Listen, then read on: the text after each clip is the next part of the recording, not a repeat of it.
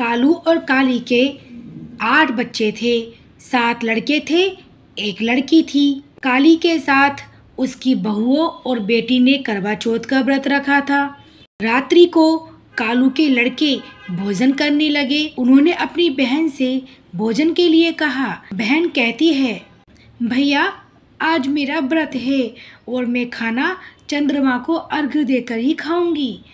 सबसे छोटे भाई को अपनी बहन की हालत देखी नहीं जा रही थी और वह दूर पेड़ पर एक दीपक जलाकर चलनी की ओट में रख देता है, जो ऐसा प्रतीत होता है जैसे चतुर्थी का चाँद हो।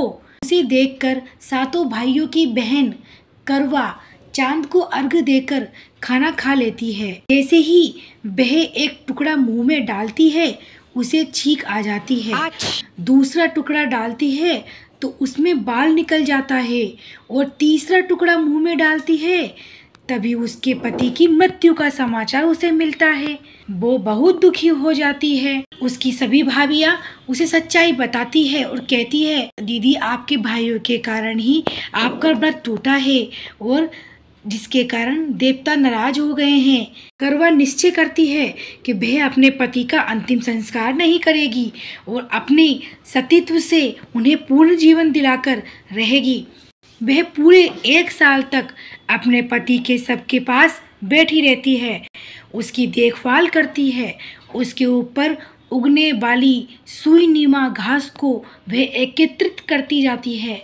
एक साल बाद फिर चौथ का दिन आता है तो वह व्रत रखती है और शाम को सुहागिनों से अनुरोध करती है कि, यम, सुई ले लो, पिए, सुई दे दो, मुझे भी अपनी जैसी सुहागिन बना दो। लेकिन हर कोई उसे मना कर देता है। आखिर में एक सुहागिन उसकी बात मान लेती है। इस तरह से उसका व्रत पूरा होता है और उसके सुहाग को नए जीवन का आशीर्वाद मिलता है।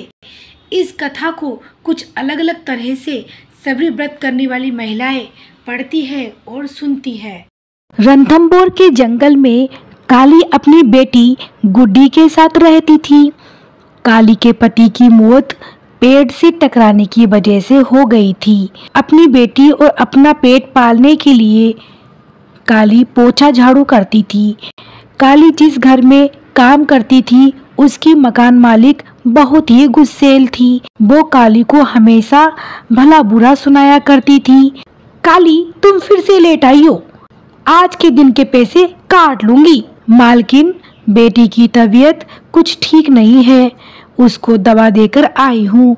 इसलिए थोड़ा लेट हो गई हूँ। मुझे समझ नहीं आता, तुम जैसे गरीब बच्चों को पाल ही नहीं सकते तो करते क्यों हो? जा अब काम कर जल्दी से।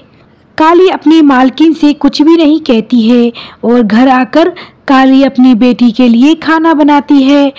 काली दुर्गा माँ की बहुत बड़ी भक्त थी और दुर्गा माँ का व्रत किया करती थी।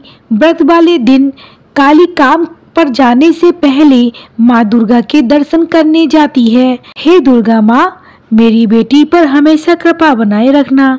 फिर काली काम पर चली गई। घर का सारा काम खत्म करने के बाद काली मालकिन से कहती है, मालकिन, मेरे नौ व्रत पूरे होने वाले हैं और मुझे नौ कन्याओं को खाना खिलाना है और व्रत का उद्यापन करना है। उसके लिए मुझे कुछ पैसे चाहिए। मैं क्या करूँ? मैंने क्या पैसे की खान खोल रखी है क्या? तूने मांगी और मैंने खान से निकाल कर तुझे पैसे दे दिए। एक तो ठीक से काम नहीं करती आई बड़ी। ऐसा मत बोलो मालकिन, ज़्यादा बकवास मत कर। इस महीने की पूरी सैलरी काट लूँगी। काली घर आती है और सोचती है, मुझे व्रत का उद्यापन तो करना होगा। फिर काली अपने घर की चार पाई बेच देती है, जिससे उसके पास थोड़े बहुत पैसे आ जाते हैं। अरे वाह! माँ दुर्गा के व्रत का उद्यापन के लिए पैसे का इंतज़ाम तो हो गया है। अगले दिन रानो सुबह होते ही खाना बनाने में लग जाती है और मंदिर में खाना ले जाकर नौ कन्याओं को भोजन परोसती है। तभी काली की मालकिन वहाँ आ जाती है और अपने पैर से सारी प्लेट को गिरा देती है।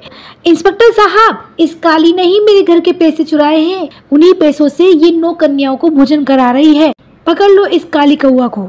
नहीं मालकिन, मैंने पैसे नहीं चुराए। काली को पुलिस जेल में डाल देती है। अगले दिन पुलिस सीसीटीवी की मदद से उस घर के माली को पकड़ लेती है और काली को रिहा कर देती है। रात में काली जब सो रही होती है, तभी दुर्गा माँ काली के सपने में आती है। काली, तू मेरी सबसे अच्छी भक्त है, बोल तुझे क्या चाहिए? माँ मेरी मालकिन की वजह से व्रत का उद्यापन ठीक से नहीं हुआ। बस वही करना चाहती हूँ। मुझे माफ़ कर दीजिए माँ। काली, ये गलती तुम्हारी नहीं है, ये तुम्हारी मालकिन की गलती है। इसकी सजा उसे मिलकर रहेगी। उसने मेरे प्रसाद को ठोकर मारी थी। अब उसे सब डंडा मारकर भगाएँगे। तेरी अधूरी इच्छा भी पूरी होगी। सुबह उठकर अपने बिस्तर के नीचे देखना। एक बेग रखा होगा, उसको खोलकर देखना। तेरी सारे काम बन जाएँगे। अगले दिन जब काली बेग को देखती है तो उसमें बहुत सारे हीरे जवाहरात होते हैं और काली खुश हो जाती है। अब काली दुर्गा माँ के मंदिर में बहुत बड़ा भंडारा करती है। इधर काली की मालकिन एक चूहा बन जाती है। मालकिन का पति चूहा देखता है तो उसे डंडे से मारकर भगा देता है। अब काली की मालकिन जहाँ जाती, सब उसे डंडे मारकर भगा देते हैं। भागते भागते काली की मालकिन दुर्गा माँ के मंदिर पहुँचती है। उसे देखकर पंडित पक्षी सब कुछ समझ जाता है और वो कहता है तुमने उस दिन माँ के प्रसाद को ठोकर मारी थी। आज इसी कारण तुम सबकी ठोकर खा रही हो। पंडित जी, मुझे क्या करना होगा? तुम्हें दुर्गा माँ से माफ़ी मांगनी होगी और उनके नौ दिन का व्रत भी करना होगा और व्रत का उद्यापन भी करना होगा। काली की मालकिन नौ दिन तक व्रत करती है और काली के पास जाती है और उससे माफ़ी मांगती है। और अपने पति की सहायता से नौ कन्याओं को भोजन करवाती है। उसके बाद दुर्गा माता उसे दर्शन देती है और उसे वापस से पक्षी बना देती है।